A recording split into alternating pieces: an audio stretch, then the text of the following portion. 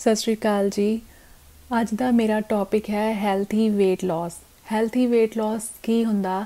Healthy weight loss ਦੇ ਵਿੱਚ ਹੁੰਦਾ ਕਿ ਤੁਸੀਂ ਵਜ਼ਨ ਘਟਾਉਣ ਦੇ ਲਈ ਤੁਹਾਡੇ ਜਿਹੜੀ ਫੈਟ ਆ, ਉਹਦਾ ਲਾਸ ਹੋਵੇ ਤੁਹਾਡੀ ਬਾਡੀ ਦੇ ਵਿੱਚ, ਤੁਹਾਡਾ ਮਸਲ ਲਾਸ ਨਾ ਹੋਵੇ। ਕਿਉਂਕਿ ਜੇ ਮਸਲ ਲਾਸ ਹੁੰਦਾ ਤਾਂ ਤੁਸੀਂ ਬਹੁਤ ਵੀਕ ਹੁੰਦੇ ਜਾਂਦੇ ਹੋ ਟਾਈਮ ਦੇ ਨਾਲ। ਹੈਲਥੀ ਡਾਈਟ ਕਿਵੇਂ ਜ਼ਰੂਰੀ ਆ ਹੈਲਥੀ weight loss ਦੇ ਲਈ ਉਸ ਦੇ ਬਾਰੇ ਵਿੱਚ ਗੱਲ ਕਰਦੇ ਆ ਪ੍ਰੋਪਰ ਜਿਹੜੀ ਆਪਣੀ ਡਾਈਟ ਆ, ਉਹਦੇ ਵਿੱਚ ਤੁਹਾਨੂੰ ਸਭ ਕੁਝ ਖਾਣਾ ਪੈਂਦਾ। ਜਿਵੇਂ ਤੁਹਾਡੀ ਕਾਰਬੋਹਾਈਡਰੇਟਸ ਵੀ ਹੋਣੇ ਜ਼ਰੂਰੀ ਨੇ, ਤੁਹਾਡੀ ਫੈਟ ਗੁੱਡ ਕੁਆਲਿਟੀ ਜਿਹੜੀ ਫੈਟ ਆ, ਉਹ ਵੀ ਹੋਣੀ ਚਾਹੀਦੀ ਆ। ਤੇ ਤੁਹਾਡੀ ਪ੍ਰੋਟੀਨ ਦੀ ਜਿਹੜੀ ਅਮਾਉਂਟ ਆ, ਜਿੰਨੀ ਤੁਹਾਨੂੰ ਪਰ ਡੇ ਚਾਹੀਦੀ ਹੁੰਦੀ ਆ, ਉਹ ਵੀ ਹੋਣੀ ਬਹੁਤ ਜ਼ਰੂਰੀ ਆ। ਤੁਹਾਡੇ ਮਸਲਸ ਨੂੰ ਮਸਲਸ ਨੂੰ ਹੈਲਥੀ ਰੱਖਣ ਦੇ ਲਈ, ਉਹਨਾਂ ਨੂੰ ਸਟਰੋਂਗ ਦੇ, ਬਣਾਉਣ ਦੇ ਲਈ ਤਾਂ ਕਿ ਤੁਹਾਡਾ ਮਸਲ ਲਾਸ ਨਾ ਹੋਵੇ। ਤੇ ਹੁਣ ਆਪਾਂ ਗੱਲ ਕਰਦੇ ਆਂ ਕਿ weight loss ਪੋਸੀਬਲ ਕਿਵੇਂ ਆ। ਸੋ ਮੈਂ ਕਈ ਵਾਰ ਦੇਖਿਆ ਕਿ ਜਦੋਂ ਕੋਈ weight loss ਕਰਨ ਬਾਰੇ ਸੋਚਦਾ ਤਾਂ ਉਹ ਬਹੁਤ ਘੱਟ ਖਾਣਾ ਸਟਾਰਟ ਕਰ ਦਿੰਦੇ ਨੇ। ਜਿਵੇਂ ਕਿ ਜੇ ਦੋ ਰੋਟੀ ਖਾਂਦੇ ਆ ਤਾਂ ਇੱਕ ਰੋਟੀ ਕਰ ਦਿੰਦੇ ਨੇ ਤੇ ਰਾਤ ਦੀ ਰੋਟੀ ਤਾਂ ਬਿਲਕੁਲ ਬੰਦ ਹੀ ਕਰ ਦਿੰਦੇ ਨੇ। ਥੋੜਾ ਸੈਲਡ ਖਾ ਲਿਆ, ਚਲੋ ਜੀ ਠੀਕ ਆ ਤੇ weight loss ਹੋਣਾ ਸਟਾਰਟ ਹੋ ਜਾਂਦਾ। ਤੇ ਉਹ ਕੀ ਹੁੰਦਾ, ਪਹਿਲਾਂ ਪਹਿਲਾਂ ਤੁਹਾਡਾ weight loss ਹੋਊਗਾ। ਤੁਹਾਨੂੰ, ਤੁਸੀਂ ਹੈਪੀ ਵੀ ਹੋਵੋਗੇ ਕਿ weight loss ਹੋ ਗਿਆ, ਪਰ ਥੋੜੇ ਟਾਈਮ ਬਾਅਦ ਵਿੱਚ ਤੁਹਾਡਾ weight loss ਹੋਣਾ ਬੰਦ ਹੋ ਜਾਂਦਾ।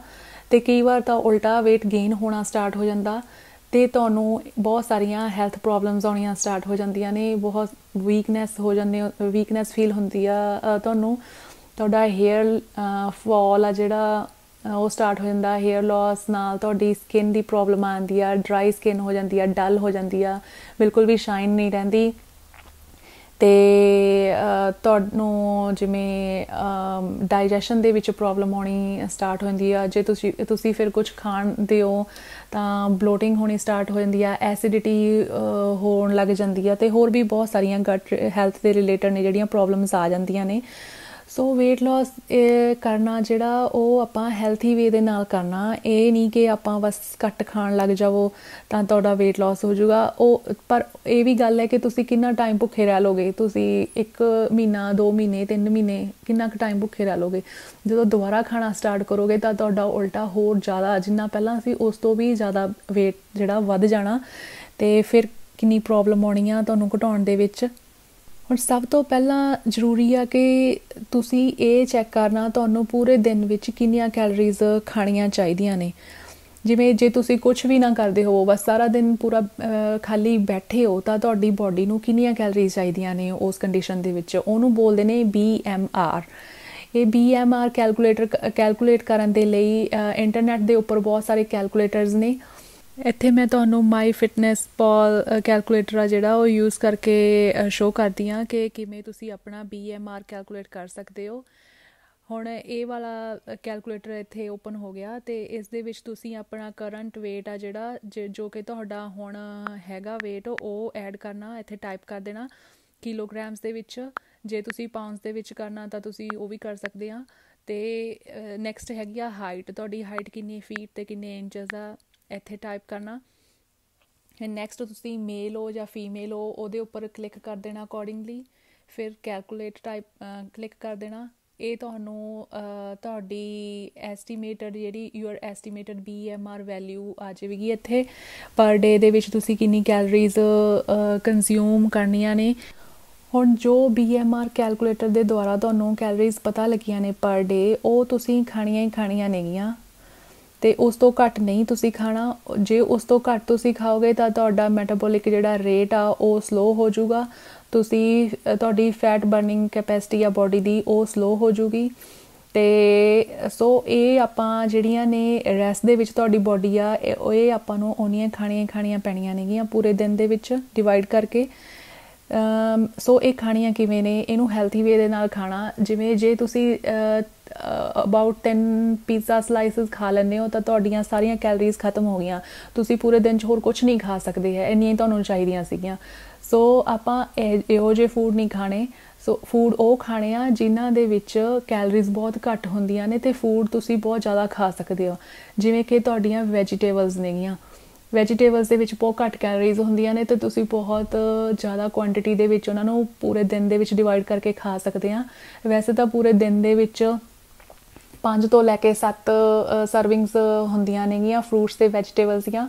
ਪਰ ਜੇ ਤੁਸੀਂ weight loss ਕਰਨਾ ਤਾਂ ਫਰੂਟ ਤੁਸੀਂ ਦੋ ਹੀ ਖਾਓ ਪੂਰੇ ਦਿਨ ਦੇ ਵਿੱਚ। ਬਾਕੀ ਜਿਹੜੀਆਂ ਪੰਜ ਸਰਵਿੰਗਸ ਨੇ, ਉਹ ਵੈਜੀਟੇਬਲਸ ਦੀਆਂ ਖਾਓ, ਚਾਹੇ ਉਹ ਕੁੱਕ ਨੇ, ਚਾਹੇ ਉਹ ਸੈਲਡ ਫਾਰਮ ਦੇ ਵਿੱਚ ਨੇ, ਚਾਹੇ ਤੁਸੀਂ ਅਨਕੁਕਡ ਖਾ ਰਹੇ ਹੋ। ਜਿਵੇਂ ਕਿ ਫਰੂਟ ਵੀ ਤੁਸੀਂ ਦੋਨੋਂ ਇੱਕੋ ਹੀ ਟਾਈਮ ਤੇ ਨਹੀਂ ਖਾਣੇ ਹੈ।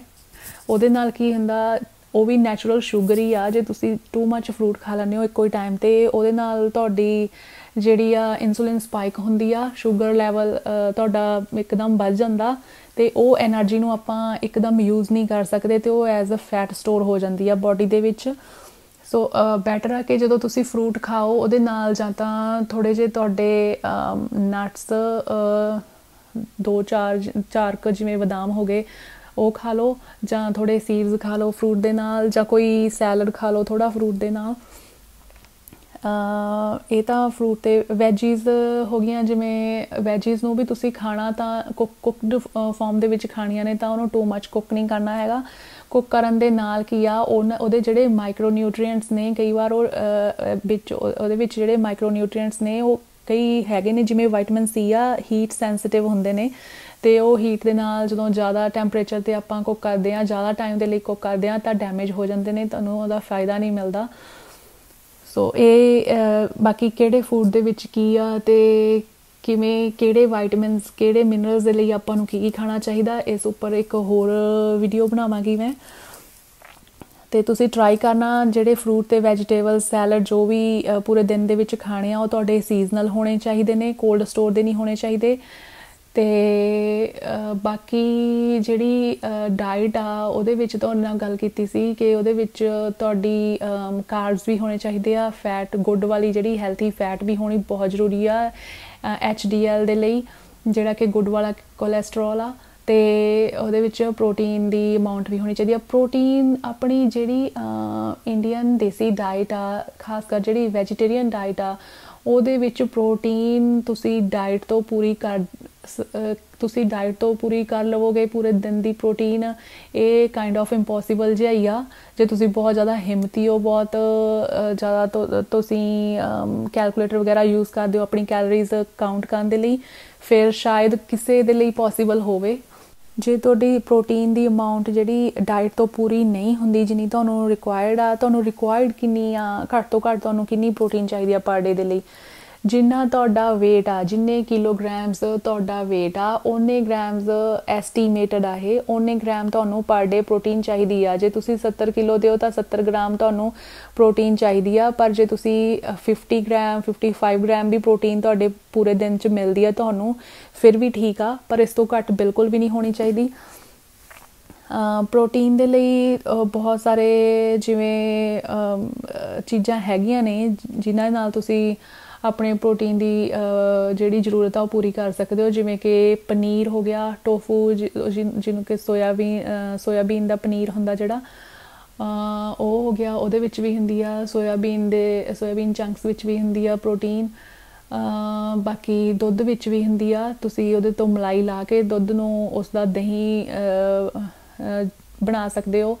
ਲੱਸੀ ਪਰ ਅਵੋਇਡ ਕਰੋ ਕਿ ਤੁਸੀਂ ਚਾਹ ਬਹੁਤ ਘੱਟ ਪੀਓ ਦਿਨ ਦੇ ਵਿੱਚ, ਇੱਕ ਜਾਂ ਦੋ ਵਾਰ ਚਾਹ ਪੀਓ, ਉਹ ਵੀ ਬਹੁਤ ਘੱਟ ਸ਼ੂਗਰ ਵਾਲੀ ਚਾਹ ਹੋਵੇ।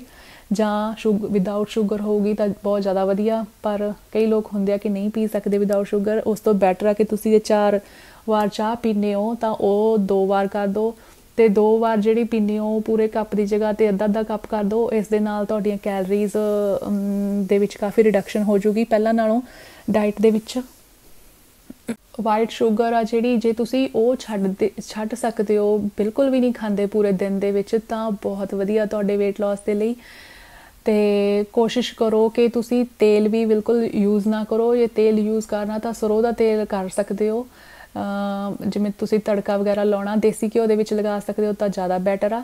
ਪਰ ਜੇ ਨਹੀਂ ਵੀ ਤੁਹਾਡੇ ਕੋਲ ਆਪਸ਼ਨ ਹੈਗੀ ਦੇਸੀ ਘੀ ਵਾਲੀ, ਤਾਂ ਤੁਸੀਂ ਸਰੋਂ ਦੇ ਤੇਲ ਦੇ ਵਿੱਚ ਥੋੜਾ ਤੇਲ ਘਟਾ ਦਿਓ, ਜਿੰਨਾ ਤੁਸੀਂ ਪਹਿਲਾਂ ਪਾ ਕੇ ਲਗਾਉਂਦੇ ਸੀ ਤੜਕਾ ਥੋੜਾ ਉਸ ਤੋਂ ਘਟਾ ਦਿਓ ਆਪਣੀ ਅਮਾਉਂਟ ਤੇ ਦਾਲ ਸਬਜ਼ੀ ਦੇ ਉੱਪਰ ਘਿਓ ਪਾਣਾ, ਘਿਓ ਬਟਰ ਪਾਣਾ ਬੰਦ ਕਰੋ। ਤੇ ਬਾਕੀ ਪਰਾਠੇ ਜਿਹੜੇ ਆ ਤੁਸੀਂ, ਉਹ ਵੀ ਤੁਹਾਨੂੰ ਬੰਦ ਕਰਨੇ ਪੈਣਗੇ ਜੇ ਤੁਸੀਂ weight loss ਕਰਨਾ, ਕਿਉਂਕਿ ਆਪਾਂ ਜਿਹੜੀ ਫੈਟ ਆ ਹੈਲਥੀ ਵਾਲੀ, ਉਹ ਆਪਣੀ ਬਾਡੀ ਦੇ ਲਈ ਜ਼ਰੂਰੀ ਆ। ਪਰ ਉਹ ਆਪਾਂ ਹੋਰ ਚੀਜ਼ਾਂ ਤੋਂ ਲੈਣੀਆਂ, ਜਿਨ੍ਹਾਂ ਦੇ ਵਿੱਚੋਂ ਆਪਾਂ ਨੂੰ ਮਾਈਕਰੋ ਨਿਊਟ੍ਰੀਐਂਟਸ ਵੀ ਮਿਲਣ ਯਾਨੀ ਕਿ ਤੁਹਾਡੇ ਵਿਟਾਮਿਨਸ ਤੇ ਮਿਨਰਲਸ ਵੀ ਤੁਹਾਨੂੰ ਮਿਲਣ। ਜਿਵੇਂ ਕਿ ਨਟਸ ਤੇ ਸੀਡਸ ਹੋ ਗਏ। ਸੀਡਸ ਵਿੱਚ flax chia sesame pumpkin sunflower watermelon ਇਹ ਸੀਡਸ ਦੀ ਅਮਾਉਂਟ ਆ ਜਿਹੜੀ ਟੋਟਲ ਡੇ ਦੇ ਵਿੱਚ ਉਹ ਤੁਸੀਂ 15 ਤੋਂ 20 ਗ੍ਰਾਮ ਲੈ ਸਕਦੇ ਆ। ਤੇ ਨਟਸ ਦੇ ਵਿੱਚ ਐਲਮੰਡਸ 5 ਤੋਂ 8 ਵਾਲਨਟਸ 2 ਬ੍ਰਾਜ਼ਿਲ ਨਟਸ 2 ਨਟਸ ਤੇ ਸੀਡਸ ਦੇ ਵਿੱਚ ਪ੍ਰੋਟੀਨ ਫੈਟਸ ਫਾਈਬਰ ਐਂਟੀਆਕਸੀਡੈਂਟਸ ਕਈ ਤਰ੍ਹਾਂ ਦੇ ਵਿਟਾਮਿਨਸ ਤੇ ਮਿਨਰਲਸ ਵੀ ਪਾਏ ਜਾਂਦੇ ਨੇ, ਜੋ ਕਿ ਆਪਣੇ ਇਮਿਊਨ ਸਿਸਟਮ ਦੇ ਲਈ ਤੇ ਹੋਰ ਹੈਲਥ ਦੇ ਲਈ ਬਹੁਤ ਜ਼ਰੂਰੀ ਨੇ। ਮੈਦੇ ਤੋਂ ਬੜੀਆਂ ਚੀਜ਼ਾਂ ਵੀ ਬਿਲਕੁਲ ਬੰਦ ਕਰ ਦਿਓ ਜਿਵੇਂ ਕਿ ਕੇਕ ਵਾਈਟ ਬ੍ਰੈਡ ਬਿਸਕਟਸ ਪਟੂਰੇ ਪੂਰੀਆਂ ਹੋਰ ਕਈ ਚੀਜ਼ਾਂ ਜੋ ਕਿ ਮੈਦੇ ਤੋਂ ਬਣਦੀਆਂ ਨੇ। ਉਹ ਬਿਲਕੁਲ ਹੀ ਤੁਸੀਂ ਬੰਦ ਕਰ ਦਿਵੋ। ਬਾਕੀ ਦਾਲਾਂ ਵਿੱਚ ਵੀ ਬਹੁਤ ਵਧੀਆ ਅਮਾਉਂਟ ਵਿੱਚ ਪ੍ਰੋਟੀਨ ਪਾਇਆ ਜਾਂਦਾ। ਤੇ ਸੀਡਸ ਦੇ ਨਟਸ ਦੇ ਵਿੱਚ ਵੀ ਪ੍ਰੋਟੀਨ ਦੀ ਅਮਾਉਂਟ ਵਧੀਆ ਪਾਈ ਜਾਂਦੀ ਆ। ਬਾਕੀ ਹੁਣ ਗੱਲ ਕਰਦੇ ਆ ਆਪਾਂ ਕਾਰਬਸ ਦੀ ਕਾਰਬੋਹਾਈਡਰੇਟਸ ਦੀ। ਕਾਰਬੋਹਾਈਡਰੇਟਸ ਜਿਹੜੇ ਆਪਣੇ ਆਟੇ ਨੇ, ਉਹਨਾਂ ਦੇ ਵਿੱਚ, ਦਾਲਾਂ ਵਿੱਚ ਵੀ ਕਾਰਬੋਹਾਈਡਰੇਟਸ ਹੁੰਦਾ। ਰਾਈਸ ਦੇ ਵਿੱਚ ਵੀ ਕਾਰਬਸ ਪਾਏ ਜਾਂਦੇ ਆ। ਹੁਣ ਗੱਲ ਕਰਦੇ ਆ ਪਾਣੀ ਦੀ। ਸੋ ਪਾਣੀ weight loss ਦੇ ਲਈ ਤਾਂ ਜ਼ਰੂਰੀ ਹੈ ਹੀ ਪਾਣੀ ਆਪਣਾ ਗੁੱਡ ਅਮਾਉਂਟ ਦੇ ਵਿੱਚ ਪੀਣਾ। ਪਰ ਜਿਨ੍ਹਾਂ ਨੇ weight loss ਨਹੀਂ ਵੀ ਕਰਨਾ ਜਾਂ weight gain ਕਰਨਾ ਜਾਂ ਨਾਰਮਲ ਆਪਾਂ ਹੈਲਥੀ ਲਾਈਫ ਸਟਾਈਲ ਨੂੰ ਮੇਨਟੇਨ ਰੱਖਣਾ, ਪਾਣੀ ਦੀ ਬਹੁਤ ਜ਼ਿਆਦਾ ਇੰਪੋਰਟੈਂਸ ਆ। ਸਭ ਤੋਂ ਪਹਿਲਾਂ ਸਵੇਰੇ ਜਦੋਂ ਆਪਾਂ ਉੱਠਦੇ ਆ ਮਾਰਨਿੰਗ ਦੇ ਵਿੱਚ ਜਾਂ ਜੇ ਤੁਸੀਂ ਮਾਰਨਿੰਗ ਨਾਈਟ ਸ਼ਿਫਟ ਕਰਦੇ ਹੋ ਤਾਂ ਆਬਵੀਅਸਲੀ ਰਾਤ ਨੂੰ ਉੱਠਦੇ ਹੋ। ਜਦੋਂ ਵੀ ਤੁਸੀਂ ਉੱਠਦੇ ਹੋ ਸੋ ਕੇ ਤਾਂ ਪਾਣੀ ਪੀਣਾ ਬਹੁਤ ਜ਼ਰੂਰੀ ਆ। ਜੇ ਤੁਸੀਂ weight loss ਕਰਨਾ ਤਾਂ ਸਿੰਪਲ ਪਲੇਨ ਪਾਣੀ ਦੀ ਜਗ੍ਹਾ ਦੇ ਉੱਪਰ ਤੁਸੀਂ ਕੋਈ ਵੀ ਹੋਰ ਵਧੀਆ weight loss ਨੂੰ ਜਿਹੜੀ ਡਰਿੰਕ ਜਿਹੜੀ ਡਰਿੰਕ ਦਾ ਬੈਨੀਫਿਟ ਹੁੰਦਾ ਉਹ ਵਾਲੀ ਲੈ ਸਕਦੇ ਹੋ। ਜਿਵੇਂ ਕਿ ਮੈਂ ਇੱਕ ਵੀਡੀਓ ਕੀਤੀ ਸੀ ਹੈਲਥੀ ਡਰਿੰਕ ਦੇ ਉੱਪਰ, ਜਿਹਦੇ ਜਿਹਦੇ ਵਿੱਚ ਮੈਂ ਜਿਹੜੇ ਆਪਣੇ ਸਪਾਈਸ ਸੀਡਸ ਨੇ, ਉਹਨਾਂ ਦੀ ਡਰਿੰਕ ਦੇ ਬਾਰੇ ਵਿੱਚ ਦੱਸਿਆ ਸੀ, ਉਹ ਵੀ ਤੁਸੀਂ ਲੈ ਸਕਦੇ ਹੋ। ਜਾਂ ਤੁਸੀਂ ਲੈਮਨ ਵਾਟਰ ਜਿਨ੍ਹਾਂ ਨੂੰ ਫਿੱਟ ਆ ਗਈਆਂ ਨੂੰ ਐਸਿਡਿਟੀ ਜ਼ਿਆਦਾ ਹੋਣ ਲੱਗ ਜਾਂਦੀ ਆ ਦੇ ਲੈਮਨ ਵਾਟਰ ਵੀ ਲੈ ਸਕਦੇ ਆ ਜਾਂ ਹੋਰ ਕੋਈ ਵੀ ਇਨਫਿਊਜ਼ਡ ਵਾਟਰ ਲੈ ਸਕਦੇ ਹੋ ਤੁਸੀਂ ਮਾਰਨਿੰਗ ਦੇ ਵਿੱਚ। ਤੇ ਉਸ ਤੋਂ ਬਾਅਦ ਵਿੱਚ ਤੁਸੀਂ ਪੂਰੇ ਦਿਨ ਦੇ ਵਿੱਚ ਆਪਣੀ ਵਾਟਰ ਇਨਟੇਕ ਆ ਜਿਹੜੀ ਉਹ ਵਧੀਆ ਰੱਖਣੀ ਆ। ਇਹ ਨਹੀਂ ਕਿ ਤੁਸੀਂ ਬਸ ਸਵੇਰੇ ਪਾਣੀ ਪੀ ਲਿਆ ਤਾਂ ਬਸ ਤੁਹਾਡਾ ਹੋ ਗਿਆ। ਪੂਰੇ ਦਿਨ 'ਚ ਤੁਸੀਂ ਇਨਫੈਕਟ ਤੁਸੀਂ ਹਰੇਕ ਆਵਰ ਦੇ ਵਿੱਚ ਆਪਣਾ ਸੌਰੀ ਹਰੇਕ ਆਵਰ ਦੇ ਵਿੱਚ ਆਪਣਾ ਜਿਹੜਾ ਪਾਣੀ ਪੀਣਾ, ਛੇ ਫੂਡ ਦੇ ਨਾਲ ਤੁਸੀਂ ਪਾਣੀ ਨਹੀਂ ਪੀਣਾ। ਫੂਡ ਖਾਣ ਤੋਂ 15-20 ਮਿੰਟ ਜੇ ਹੋ ਸਕਦਾ ਤਾਂ ਅੱਧਾ ਘੰਟਾ ਪਹਿਲਾਂ ਆਪਣਾ ਪਾਣੀ ਜ਼ਰੂਰ ਤੁਹਾਨੂੰ ਪੀਣਾ ਚਾਹੀਦਾ। ਜੇ ਤੁਹਾਡੀ ਬਾਡੀ ਵਧੀਆ ਹਾਈਡਰੇਟਡ ਹੋਵੇਗੀ ਤਾਂ ਤੁਹਾਡੀ ਸਕਿਨ ਵੀ ਵਧੀਆ ਜਿਵੇਂ ਗਲੋ ਕਰਨੀ ਸਟਾਰਟ ਹੋ ਜਾਣੀ ਆ ਤੁਹਾਡੇ ਇੰਟਰਨਲ ਆਰਗਨਸ ਨੇ ਜਿਹੜੇ ਉਹ ਵੀ ਕਲੀਨ ਰਹਿਣਗੇ। ਤੁਹਾਡੀ ਗਟ ਹੈਲਥ ਆ, ਉਹ ਵੀ ਇੰਪਰੂਵ ਹੋਵੇਗੀ। ਜਿੰਨਾ ਤੁਸੀਂ ਵਧੀਆ ਅਮਾਉਂਟ ਦੇ ਵਿੱਚ ਪਾਣੀ ਪੀਓਗੇ ਇਹਦਾ ਮਤਲਬ ਇਹ ਵੀ ਨਹੀਂ ਕਿ ਤੁਸੀਂ 5-6 ਲੀਟਰ ਹੀ ਪਾਣੀ ਪੀ ਜਾਣਾ ਦਿੰਦਾ। ਉਹਦੇ ਨਾਲ ਤੁਹਾਡੇ ਜਿਹੜੇ ਇਲੈਕਟ੍ਰੋਲਾਈਟਸ ਨੇ, ਉਹ ਵੀ ਘਟ ਜਾਣੇ ਆ ਬਾਡੀ ਵਿੱਚੋਂ, ਜਿਹਦੇ ਨਾਲ ਤੁਹਾਨੂੰ ਵੀਕਨੈਸ ਫੀਲ ਹੋਊਗੀ। ਜਿੰਨੀ ਕੁ ਰਿਕੁਆਇਰਮੈਂਟ ਆ ਆਪਣੇ ਬਾਡੀ ਦੇ ਹਿਸਾਬ ਦੇ ਨਾਲ ਉਨਾ ਪਾਣੀ ਪੀਣਾ, ਜਿੰਨੀ ਤੁਹਾਨੂੰ ਪਿਆਸ ਲੱਗਦੀ ਆ ਉਹਨਾਂ ਪਾਣੀ ਪੀਣਾ। ਬਾਕੀ ਹਰੇਕ ਘੰਟੇ ਵਿੱਚ ਤੁਸੀਂ 250 2 250 ml ਪਾਣੀ ਪੀ ਸਕਦੇ ਆ। weight loss ਦੇ ਵਿੱਚ ਪ੍ਰੋਪਰ ਸਲੀਪ ਦਾ ਹੋਣਾ ਵੀ ਬਹੁਤ ਜ਼ਰੂਰੀ ਆ। ਤੁਹਾਡੀ ਨੀਂਦ ਪੂਰੀ ਹੋਣੀ ਚਾਹੀਦੀ ਆ। ਜਿੰਨੀ ਕ ਸਾਨੂੰ ਰਿਕੁਆਇਰਮੈਂਟ ਹੈਗੀ ਆ ਨੀਂਦ ਦੀ, ਜਿਵੇਂ ਕਿ ਘੱਟ ਤੋਂ ਘੱਟ ਤੁਹਾਨੂੰ 7-8 ਘੰਟੇ ਤਾਂ ਸੌਣਾ ਚਾਹੀਦਾ।